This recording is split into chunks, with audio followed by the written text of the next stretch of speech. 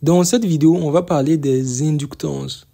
Alors là, comme on peut le voir, on a plusieurs inductances assez différents en termes de construction, mais au fond, c'est le même composant. Alors là, on va récupérer le moteur électrique, le démonter, puis observer ce qui se trouve à l'intérieur.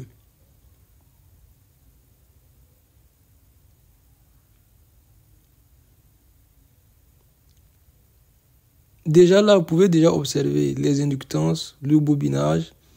Ici, les inductances sont utilisées pour fabriquer un électroaimant. Alors là, on a une inductance AR, c'est-à-dire sans circuit magnétique, comme vous pouvez le voir. Et celui-là, il est équipé d'un circuit magnétique. Voilà, on a bien un noyau magnétique au milieu. Et comparé, vous pouvez voir la différence. Équipé, pas équipé.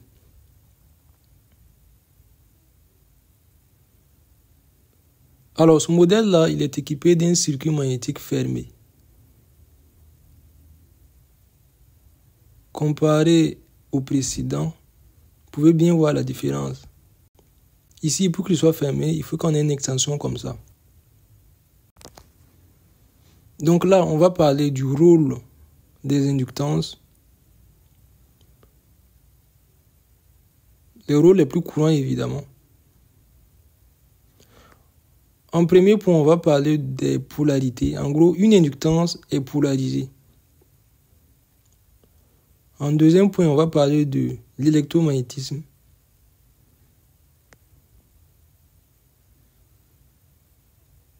Et en point final, on va parler d'une propriété. Là, c'est un bonus tout simplement. Pourquoi c'est un bonus? C'est une propriété assez spéciale. Elle permet de multiplier la tension d'une batterie, d'un générateur, à partir d'une inductance. Alors là, comme vous pouvez le voir, on a un circuit magnétique fermé. Là, j'ai un câble. Et donc, on va tout simplement marquer le début de l'enroulement. On marque, on fait le bobinage de gauche vers la droite.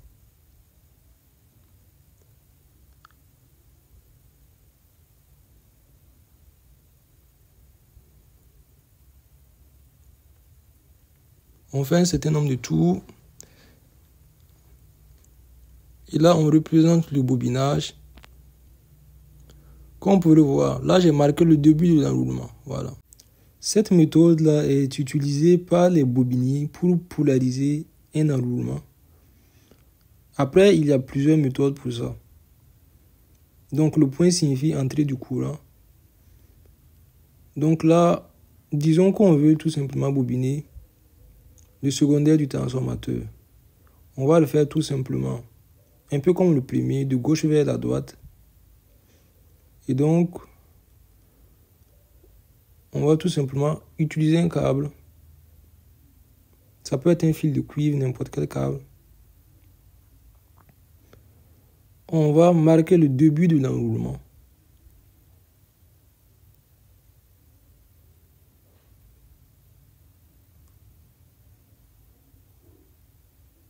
Donc là, comme vous pouvez le voir, le début de l'enroulement est là de gauche vers la droite, dans le même sens que le bobinage primaire.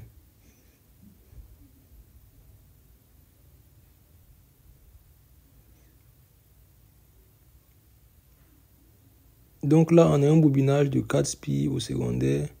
On a le début, on a le fin de l'enroulement. On représente ça en théorie on marque bien le début de l'enroulement secondaire et la fin. Voilà.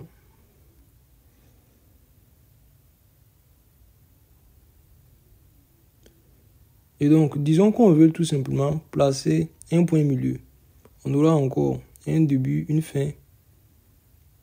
Début, fin de l'enroulement. Voilà. On place le point milieu au circuit au bobinage primaire du transformateur. Donc, on place un câble et on continue l'enroulement. Continue le bobinage.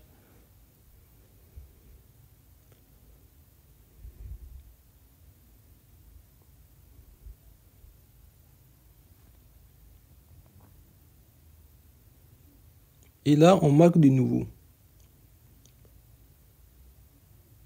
C'est l'entrée du courant, le début encore de l'enroulement. Début de l'enroulement et fin de l'enroulement.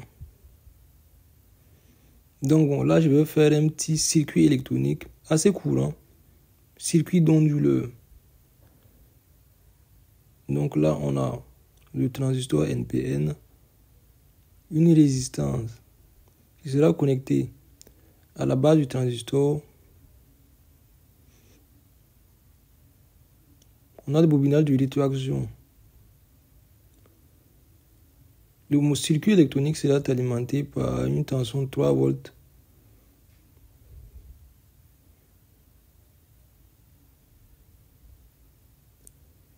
En ce qui concerne la résistance, elle est 220 ohms. Disons qu'on a un rapport de 1,20. On pourrait dans ce cas-là obtenir une haute tension à la sortie, donc un onduleur haute tension. Alors prenons la deuxième méthode qui permet de polariser évidemment la bobine. Là, on va utiliser le courant pour polariser la bobine. Alors là, on branche un câble, puis un deuxième câble. Vu que là, on a le plus de la batterie, on peut matérialiser le sens du courant.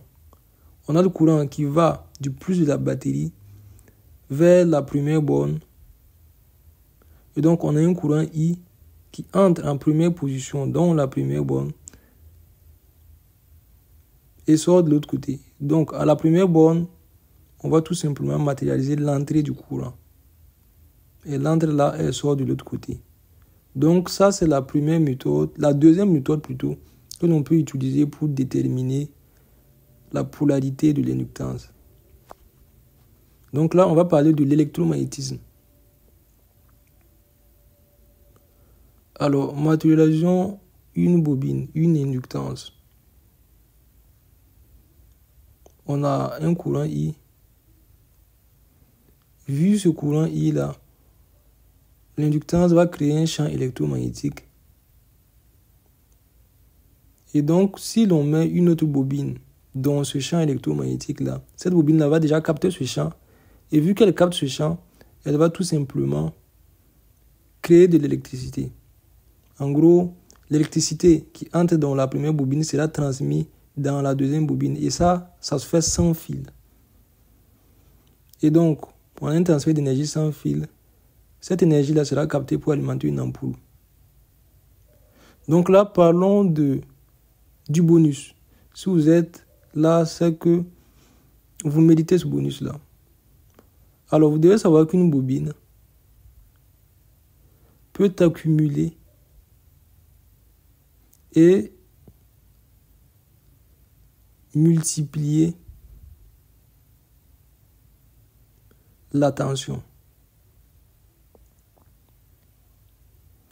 Alors, je vous explique. On prend un premier exemple. Là, on matérialise une bobine. On dira que cette bobine-là a 40 tours, donc 40 spies. Et donc, on connecte une batterie. On a le plus de la batterie et le moins de la batterie. Donc, pendant que la batterie est connectée, elle va accumuler de l'énergie. Elle accumule de l'énergie.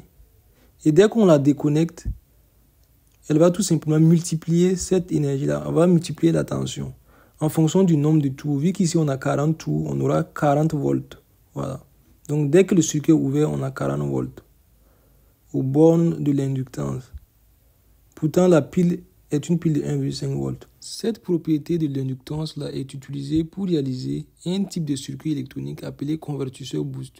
Le convertisseur boost ici permet de convertir une basse tension en une tension plus élevée En gros, on peut convertir la tension d'une pile de 1,5 volts à 200 voire 300 volts. Alors, si cette vidéo vous a plu, pensez à vous abonner, à mettre un pouce bleu. Et moi, je vous dis à la prochaine pour une nouvelle vidéo.